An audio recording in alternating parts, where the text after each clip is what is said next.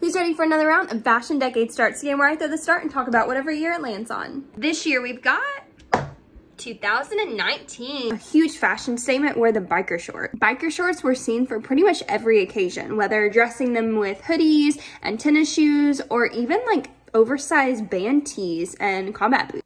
Two popular accessories included tiny sunglasses and tiny purses. Another fashion trend included utility jumpsuits. Basically what you would imagine Rosie the Riveter wearing, but more fashionable. 2019 also saw the return of bucket hats.